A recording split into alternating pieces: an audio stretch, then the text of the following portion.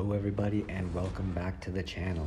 So here in our Summer of Pain Week 7 one-shot series, we have the hashtag Mercenary Challenge. And for this challenge, I took my unawakened R2 6-star Domino into the fight. And even though she's not awakened, so you don't get that extra crit failure damage, she still does enough damage to defeat Symbiote Supreme. Uh, you do rely a little bit on RNG with Domino. Uh, you want to throw your special 3 when you are lucky um, so that you can raise your chances of getting that critical bleed. And you also need to rely on RNG to make Symbiote Supreme unlucky when you reach a bar of power in the hopes that he um, doesn't purify or nullify your buffs, uh, give you that damage, or even switch his stance. The big damage with Symbiote Supreme actually comes when he enters his power gain stance. That's with the light pink icon. It's actually the stance that he starts the fight with. Um, and once he enters that stance, that's when he ends up dealing a ton of damage because one of the nodes that you have is you have a 40% chance with each hit to have a placebo buff put on you. And when he enters that, that light pink stage, which you just saw, he entered it and Domino took a ton of damage right there. Um, yeah, that can get pretty nasty.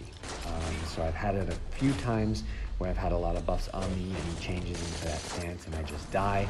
Um, so it did take a few tries with Domino, but like I said, build up to that special three.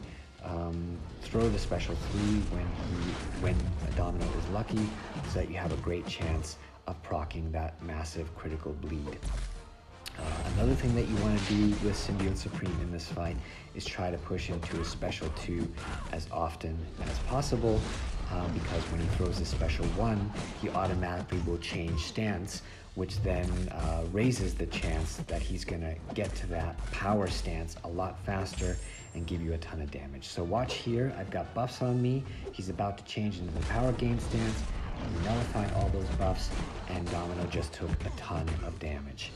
Um, so that's kind of the annoying thing uh, with this fight.